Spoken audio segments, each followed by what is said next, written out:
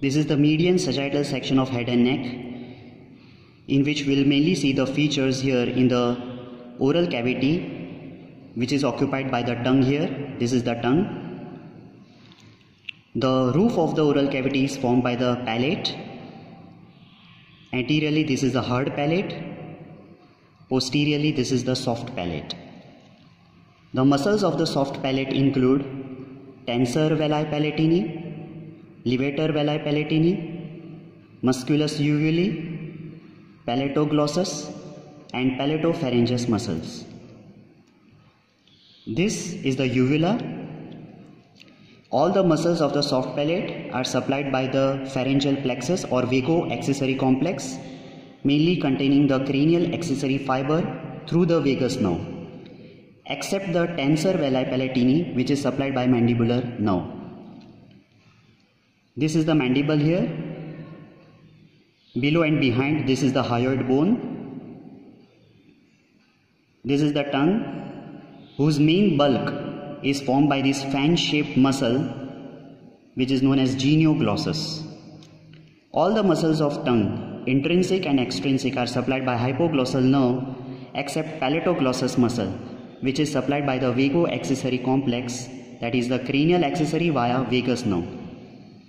Below genioglossus we can see here from mandible to hyoid this is the geniohyoid muscle Geniohyoid muscle is supplied by C1 through hypoglossal nerve, below which we can see this is the mylohyoid muscle. The mylohyoid muscle is supplied by nerve to mylohyoid, branch of inferior alveolar nerve, and the inferior alveolar nerve is one of the branches of posterior division of mandibular nerve, that is the third division of the trigeminal nerve. Behind the tongue, this is the epiglottis. So these are the main parts in the oral cavity and the palate. This is the specimen of tongue. The tongue and behind the tongue this is the epiglottis. This is the dorsal surface of the tongue which is divided into two parts. This is the anterior two-third part or oral part and uh, this is the posterior one-third part or the pharyngeal part and then there is a posterior most part of the tongue. This is the apex of tongue. Now at the junction of anterior two-third and posterior one-third, there is a V-shaped sulcus. This is known as the sulcus terminalis. And in the midline where the two limbs of the V meet, there is a foramen cecum just in front of sulcus terminalis, we can see large papilla known as a circumvallate papilla, which are the largest papilla. In addition to these, we can see in the anterior two-third of tongue, foliate papilla, filiform and fungiform papilla scattered over the dorsum of the anterior two-third of tongue.